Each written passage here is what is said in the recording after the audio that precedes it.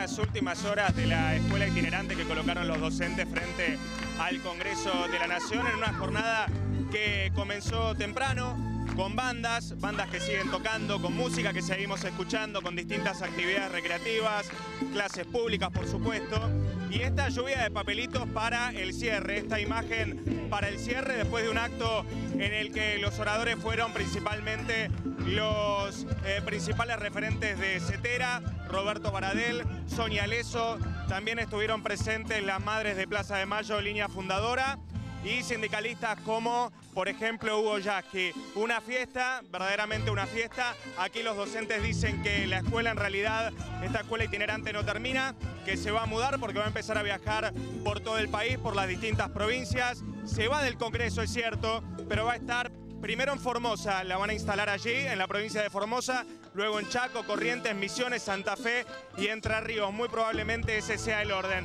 Ahora lo que se vive es esto, música, alegría, festejo. En minutos seguramente van a empezar a desmantelar la escuela pública.